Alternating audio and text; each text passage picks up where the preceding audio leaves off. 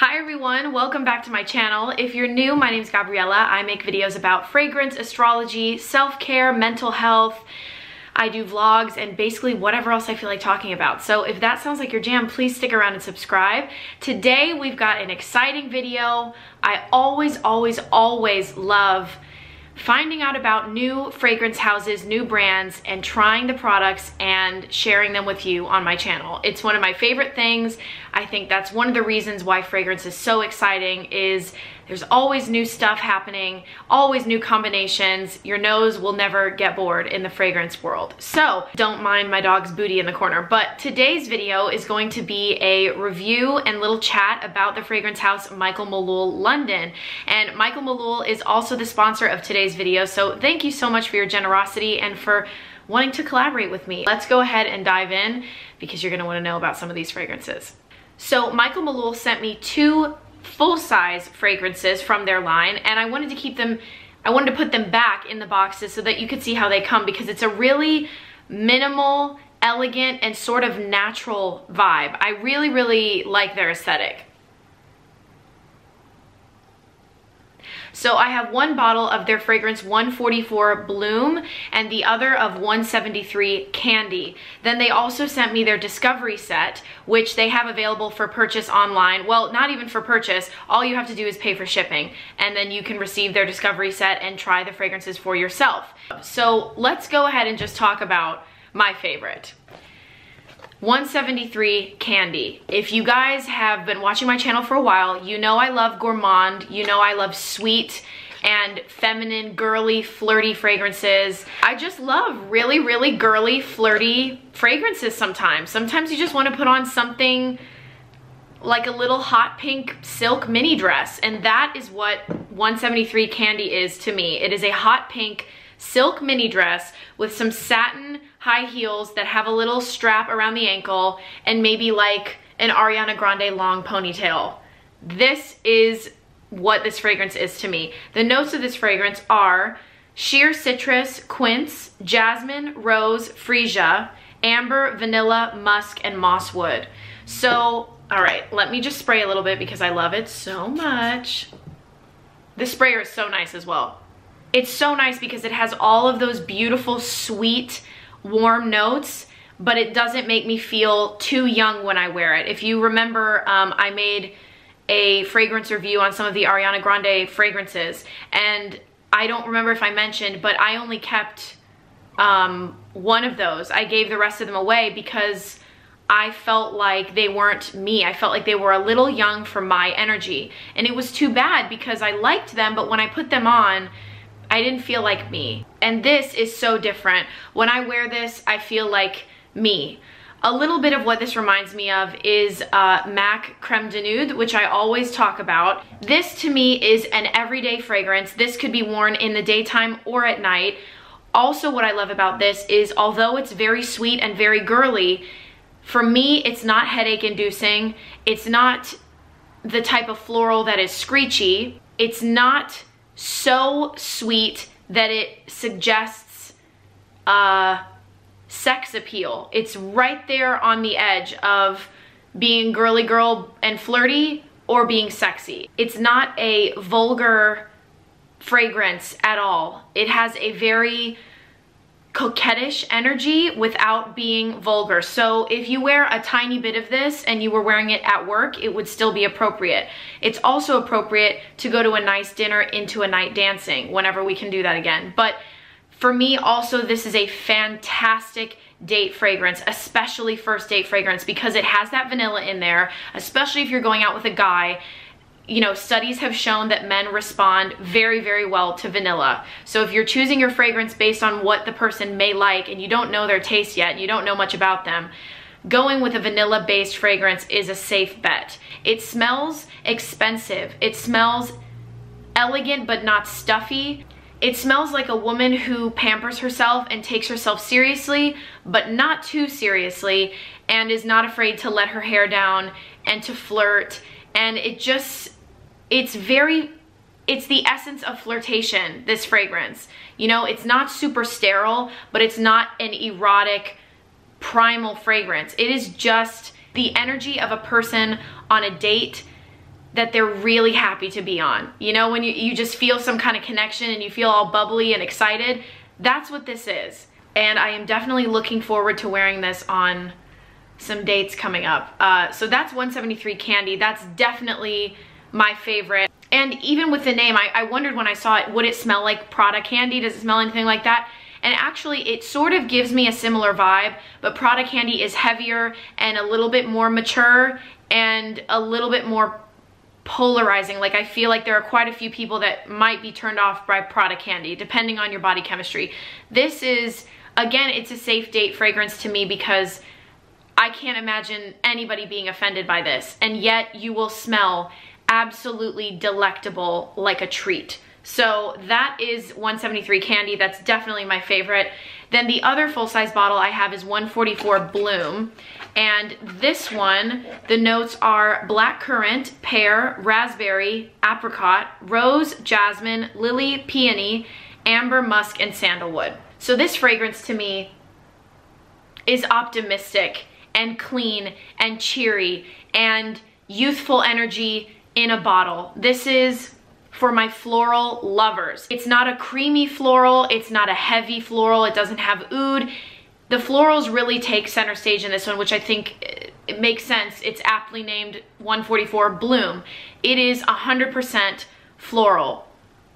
Now on the dry down, because there is uh, sandalwood and amber and musk, there is a nice warm finish, but it's not, there's no vanilla, so it's not a gourmandy floral. Again, it's not a creamy dessert floral. It is straight up, almost heady florals of all of all kinds. And the fruit to me is what adds that optimistic note. Whenever I smell juicy fruit in a fragrance, it smells like optimism. I don't know exactly how to explain it, but it does. To me, when I smelled this, I thought, okay, what would I wear this to?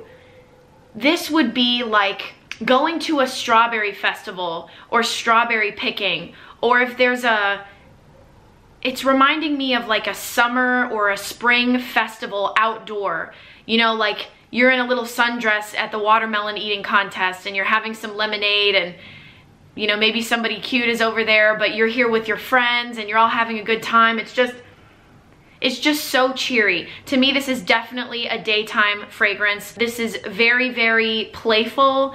It's very fresh. I can imagine this being something really wonderful to spray on right after the shower.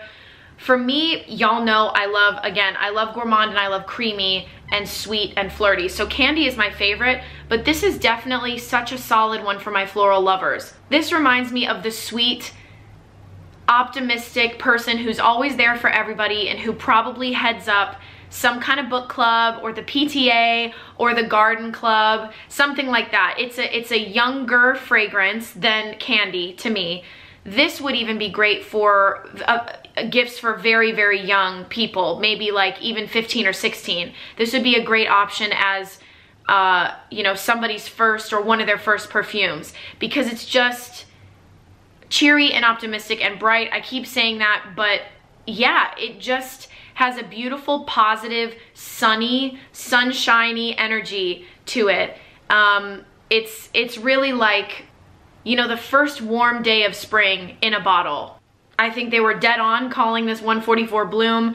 And for me, yeah, this is the girl in the cotton sundress who just lives every day to the fullest and maybe is like a VSCO girl and is just sunny and positive and kind to everybody she meets. Also, for me in spring and summer, I can imagine spraying this in my hair. I feel like it would make my hair smell so clean and it would be the perfect way to wear this so that as the wind blows through my hair or as I turn, people get a little bit of a floral vibe going on. And I, it also just, it really does smell very, very clean to me. So that, so then they sent me their discovery kit, as I mentioned, and it had, I don't know, 11 or 12 fragrances in there and I was like so excited to start playing around with them and it included a lot of their men's fragrances as well. As I always say, everything is unisex nowadays. We wear whatever we want. So I want to talk about a couple standout fragrances from their discovery kit. Whew, this one is good. This is Jet Black Platinum. And the first thing I thought when I first smelled this was spicy. Oh my gosh. Oh, there is just some intense sweetness to this that you do not find a lot in men's fragrances, but it's not a sweetness that seems out of place. It's not whipped cream sweetness. It is the sweetness of spice and of like leather. This is expensive, expensive, elegant man with just a little bit of ruggedness, a little bit of like danger, but he's mostly elegant. I just love this. The notes of this are spicy notes, lavender, cinnamon, toffee, vanilla, suede, and amber. So it must be that toffee that I'm smelling that is giving that really unique sweet note. This would be absolutely addictive to smell on someone else. Oh my goodness. And on me, also irresistible. I cannot get enough of that sweet note. It truly makes me not want to pull away from this fragrance. The lavender in this, I think, gives it a clean element, so you don't smell too musky or, uh, or like rugged, you know what I mean? It doesn't smell too manly man. It doesn't smell like men's deodorant, anything like that, because sometimes when things are too spicy, it just smells like men's deodorant to me. This is, oh my gosh, this is so good. This would be a really, really solid gift for a man. I think this would smell great on almost anybody. Sorry, sorry, my battery died. I had to move the camera around a little bit, but I really thought Jet Black Platinum was my favorite, and I think it is overall from the Discovery Kit. But right up there, especially right now because it's Christmas time, this is 511 Black Tie.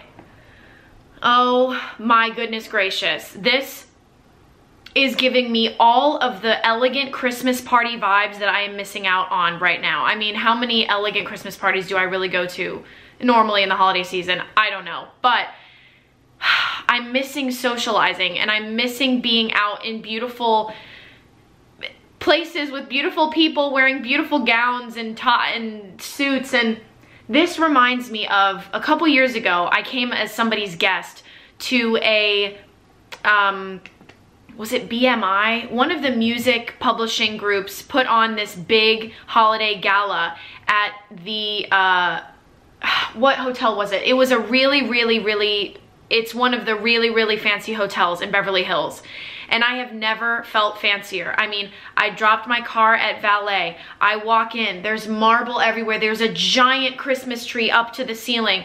There are people standing around in gorgeous gowns sipping cocktails. There's a beautiful bar with old dark wood and I just make my way back to this ballroom and there are more Christmas trees everywhere I turn and ornaments and lights and just gorgeous people everywhere and it smells good and there's good food and there's holiday music playing, beautiful holiday jazz and that is what this is. So for me, I wouldn't wear this to that type of event. I would wear this in the daytime or maybe like going going to a bar for a drink in my leather jacket. That's when I would wear this in the winter. But this is what I want to smell on the person who is my date to that gala. You know, when when I get a little tired in the night and I'm like, do you want to go home? And I put my head on their shoulder and I nestle in there to show that I'm really tired and we should probably go home. This is what I smell.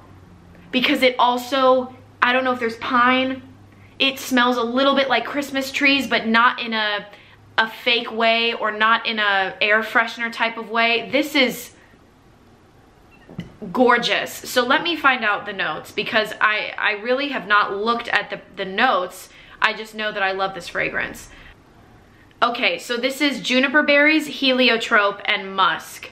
Okay, so it must be the juniper berry that's giving me that piney, woodsy, green, fresh scent. It's not resinous though. It's not anything like oud where it is like shavings of wood. But it smells like a fresh forest. And this is, I guess it really is simple if it's just juniper, heliotrope, and musk. But it's absolutely addictive. And this is the perfect, sexy Christmas time scent. Could you ever, would you ever think that would exist? Sexy Christmas? I don't know. But if I were to direct a movie called Sexy Christmas, the lead would wear this. Oh my goodness gracious. Oh, I can't believe this. It's so good. it's making me want to make the guy I'm dating put this on. And we haven't been like seeing each other for that long, so I don't want to be weird. But we are looking at Christmas lights this weekend, and this would just be the perfect fragrance to wear for that. I can just imagine in the cold air how good this would smell.